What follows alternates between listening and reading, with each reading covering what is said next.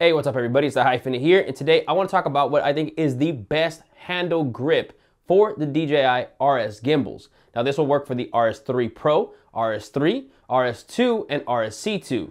Now the RS3 Pro does come with a grip handle, which I have here, and honestly, I don't really like it that much. The handle that I've been using since the RS2 is this one made by SmallRig, and I've done a video on this before, so later in this video, I'm gonna show you the majority of that video in this video, so I don't have to refilm everything that I talked about. But before I do, I kind of just want to go over the differences. So here we have both handles side by side, and they're almost the same size. However, the SmallRig is slightly shorter. Now, personally, I don't think that's a bad thing. This is large enough to be able to hold comfortably in pretty much any angle and not feel like it's too small or too hard to use. I'm gonna put them close to each other. Now this top bracket here is roughly about the same length. Now the SmallRig is thinner and the DJI is thicker. Now when it comes to the handle, the SmallRig feels a lot better.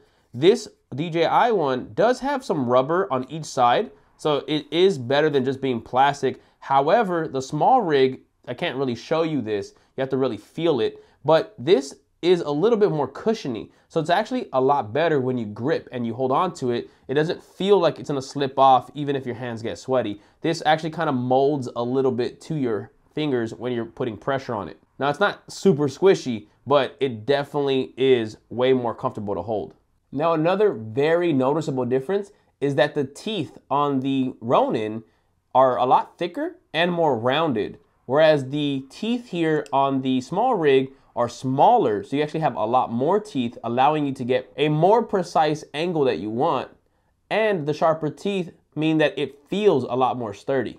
The SmallRig feels like you can pretty much lock it at any position, whereas the DJI handle feels like you have a big step between each angle. Now they both do have their own little twisting lock, though they both operate the same and they're both about the same size. Both of them are NATO clamps that mount perfectly onto the RS gimbals, However, does have a little locking pin that holds it in place. So even if this comes loose, it has an extra level of security. Now, when it comes to mounting options, the SmallRig has a lot more. Now, on the outside, both of them have a quarter inch 20 mount. However, the SmallRig one is the only one that has a cold shoe mount on that same area.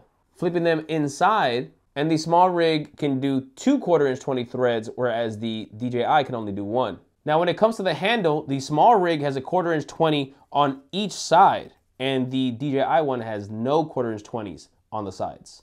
Now, on the bottom, both of them have a cold shoe mount. The DJI one on the left has only a quarter inch 20, and the SmallRig has two quarter inch 20s and a 3 8 inch mount. So when you're holding it like this, you can again move it to any angle. It does have very big teeth, so it allows it to stay locked in place no matter what angle you want. So depending on your hand, your wrist, etc., you can really find that sweet spot. Now, I definitely love using this also when I'm doing the underslung mode or briefcase mode this allows me to do some very great low angle shots and really have it at its optimal comfort level. Now, obviously this handle is gonna come in handy in any type of film that you're shooting, whether it's a short film, whether it's a YouTube video, etc. But for skateboarding especially, this thing is essential. I can't recommend it enough. I actually had this handle on the entire time that I shot the Halloween Kills the Barracks video, which I do have a link for in the description. And right now, as I'm speaking, you're seeing some clips of it and some behind the scenes.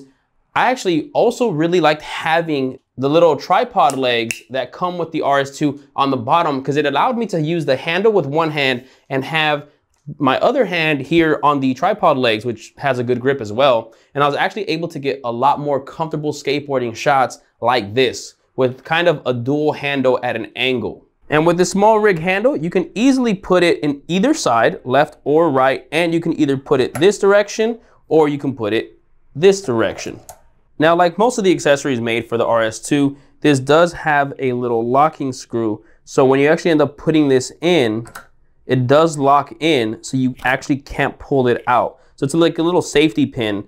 And then you can tighten up the screw to make sure that this is rock solid and doesn't move or get loose at all. So you have the main lock and then you have the little safety pin. So if you end up wanting to take it off, you unscrew the lock and then just pull the safety pin away and lift up. And the little safety pin does hold on the bottom as well. Now, like I mentioned earlier, DJI does have a handle grip that they make now, and it comes with the RS3 Pro. If you don't have the RS3 Pro, then this doesn't come in your package. But if you did get the RS3 Pro, I still recommend spending the extra money to get the handle grip made by SmallRig. It's just so much better. So there you guys have it. That's what I think is the best and must have handle grip for any of the DJI RS gimbals. If you're interested in getting that or any of the other gear that I use, I do have links in the description where you can purchase them. It doesn't change the price that you get it at, but it does help this channel. Please make sure to drop a like on this video, drop a comment below if you have any questions, and please make sure to subscribe. I have a lot more videos coming soon. I'll catch you guys in the next one. Peace.